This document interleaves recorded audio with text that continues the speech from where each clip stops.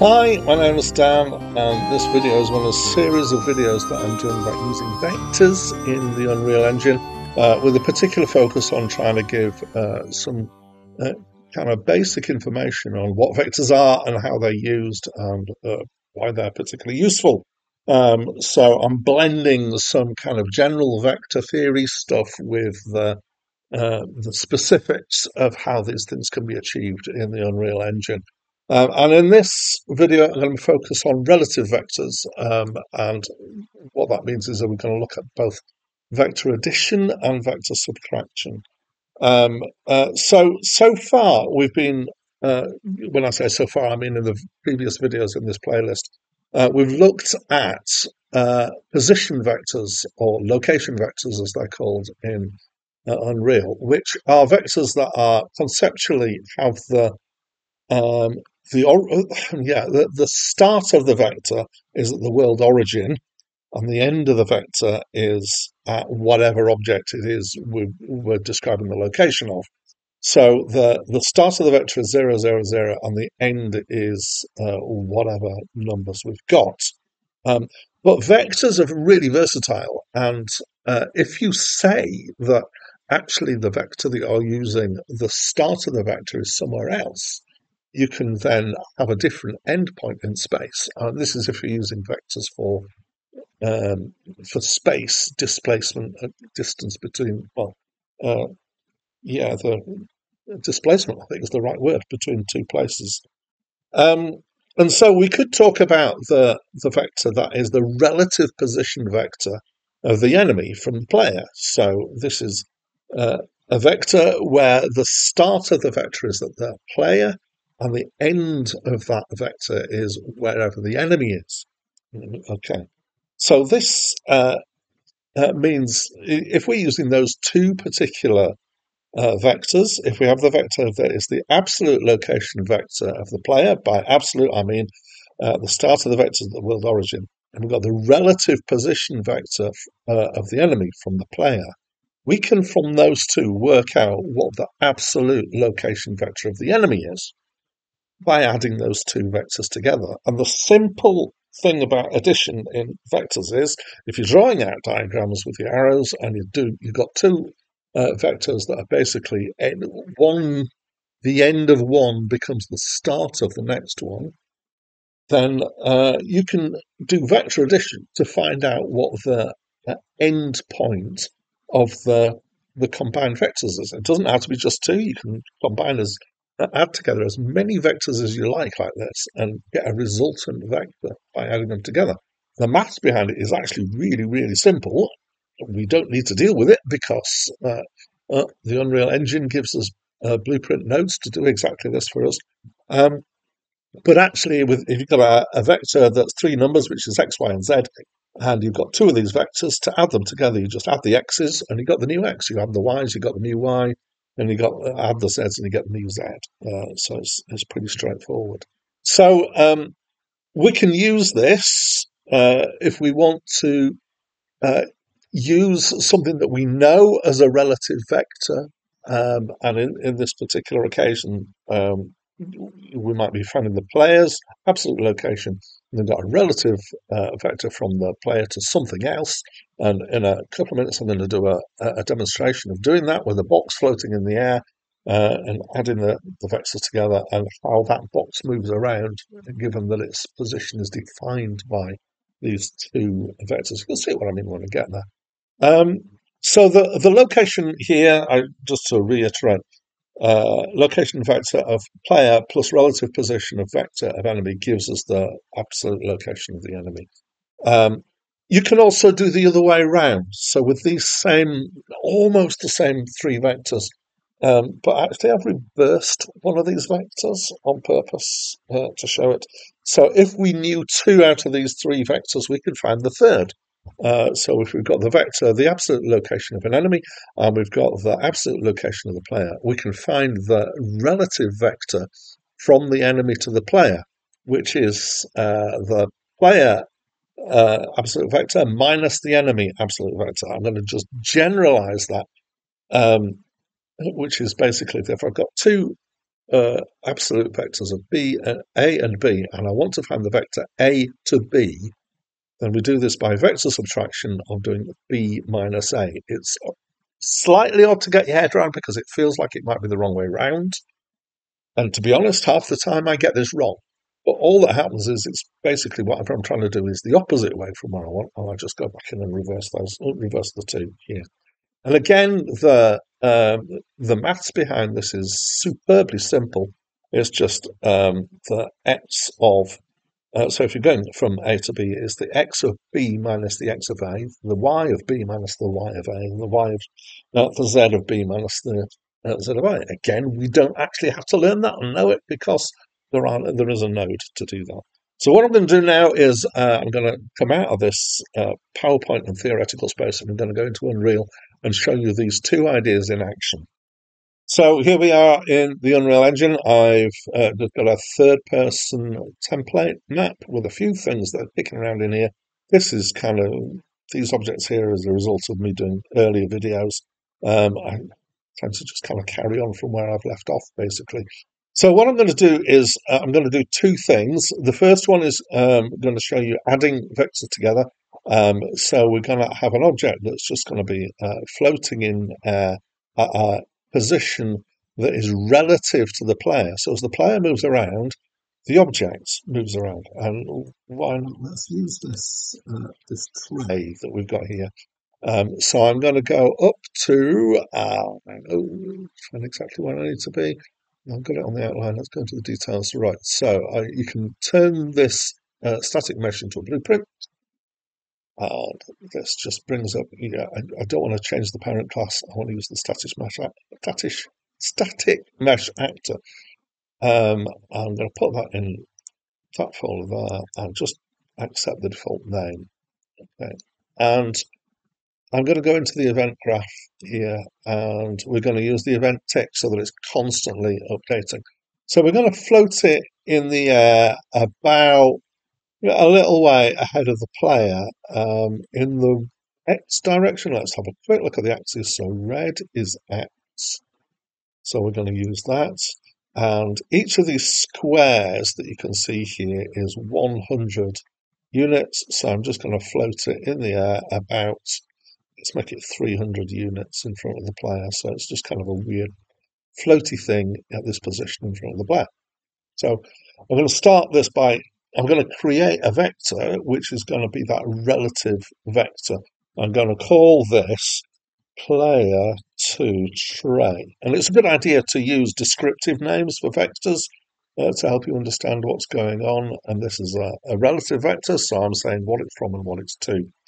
Uh, I'm going to make that uh, instance editable, not that I particularly need it to be, and compile. And I'm going to put in that those values 300 and we've got 0 and 0, and that's fine. Now, because the, the actual location vector for the player, which comes from this spawn point, uh, actually it comes from the player character blueprint, is um, not down on the floor. And if we keep Z as zero, that tray is going to float in the air in front. And if we keep Y as zero, it's going to stay fixed at some point in space about here and as the player moves around, that relative vector is going to stay the same. So it's always going to be in the x direction from the player, regardless of which way the player is facing. Okay, so let's go into here, and what we're going to do is we're going to grab hold of the location of the player. So get player pawn. Um, so that's the thing that the player is controlling, which in this case is the third person character. Get at location. And then we're going to take this player to tray vector we're going to add them together. Add vector addition, here we go. Now, it will make no difference if I put plug them in the opposite way around because vector addition is just like normal addition, which is that, you know, 3 plus 5 is the same as 5 plus 3. So um, that's what is called uh, commutative, uh, if you want the, the maths term for that. Um, and what we're going to do is we're going to set the location of this tray. So this um, uh, this actor that's the tray Uh, so we're going to get a uh, reference to self, and we're going to do set actor location. And pull out of that. We're using uh, event tick, so it means this will update constantly. So as the player moves about, it will constantly update the location of that tray. Now, I've been very confident about this, and I always feel like when I'm doing live programming, which is what I am doing, that it's interesting to see whether it works or not. And it doesn't. And why not? Ah, we've got a, um, a message here. Mobility of this thing. Static mesh component has to be movable if you'd like to move. Okay.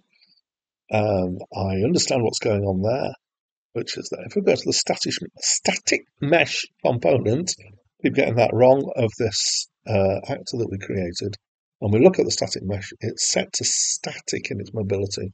We change that to movable. Hopefully that's uh, going to make it happen. And now, yes, the tray is floating in front of the player. And as the player moves around, that relative vector stays as they go up. It goes with them as they move around. So we could uh, we could use the debug lines to draw those vectors if we wanted. The uh, uh, the origin to the player, so the location of the player, the origin somewhere in this corner, um, and you can kind of imagine the line from there to the player, and then the line from the player to the tray is straight along the x-axis, and uh, as we move about, it moves around with us. So that's adding two vectors together. Uh, the other thing we're going to do is we're going to use vector subtraction uh, to be able to get the, the vector between two objects. And what I'm going to do is I'm going to create a another character which I'm going to call an enemy, which isn't going to be controllable by the player, uh, but is going to constantly look at the player. So rather than moving with the, uh, the player, it will just be staring at the player constantly moving with them. So, um, and I'll do that with uh, subtraction. So I'm going to get into uh, third person character. I'm just going to find that character uh, blueprints and duplicate it. I'm going to call this uh, BP enemy. Enemy. There we go. And this has actually got all the movement code in it, but let's just show that. Oh, I need to put one in the world. Of course, I can't see anything until I put one in the world. So let's put an enemy in the world there, pops up some of its features on the bottom, and when we press play, it's there in the world, but it isn't being controlled by me because the control, the actual mapping of the controls to the actions is only being done uh, in the player controller, which is then connected through to the player character. Oh, we've already talking all the way through that why.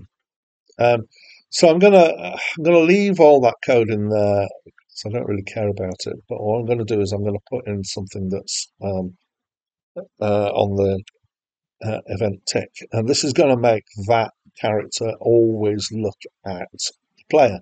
So once again, we need um, to get the player location. Get uh, player pawn. Get that uh, location. Okay. And we also want a reference to self and get actor location. So we need to work out which order we're going to want these in uh, because unlike addition, subtraction isn't uh, commutative, to use that number again. Basically, 5 minus 3 isn't the same as 3 minus 5. Um, and so uh, from earlier in the video, if we want the vector from A to B, we need to do B minus A. Okay, so we're going to do the vector from the enemy, which is the self, to B, which is the uh, the player pawn. We want B, which is the player pawn minus A. So this is hopefully this is the right way around. I feel like it is, but if I've got it wrong, I will just flick it and put it the other way around. Um, so, and we need to set, uh, uh, so again, we use the, the self here. Set actor. Ah, what do we set? Can we set the forward vector? No, we can get the forward vector, interestingly. Get the forward vector of the different elements here, but we can't set the forward vector. That's because it needs to know more than just the forward vector. And what we're going to want to do is actually set rotation. Set vector rotation. So this is a little bit complicated, and there's going to be a little bit here of uh, just, you know, accept what I'm saying. I'm going to split the structure in. So um, actually, I, I made a mistake there. I shouldn't have done splitting that in because what I'm going to do is uh, make a rotation from axes. And this allows us to define three vectors, a forward vector, a rightwards vector, and an upwards vector, which will then uh, create the rotation that we need for the object. And so we know the forward vector. What I'm going to do is just give it the upwards vector, which is 0, 0, 1, so upwards in the z direction. I'm going to ignore the right uh, vector. I have just tested this and I believe it's going to find it out for itself. So let's just test this and then come back and explore it. Um, the the reason why that box and the, that image is coming up is I when I select that, there's a camera attached to it, and so it shows you what that camera is uh, is looking at, which is a third person camera, so it's acted behind that character. All right, so hopefully this is now staring at me, and it is. As I move around it, try and bonk it with my train. Actually, that's interesting because it makes it move. hey, that's fun. All right. But as I rotate around it, it keeps looking at me. And as I go up, what it doesn't do is, oh, yeah, it is, is, it is leaning over backwards as I go up. I hadn't known it was going to do that. So that's curious. And I might want to fix that if I was going to do this as a, as a proper thing.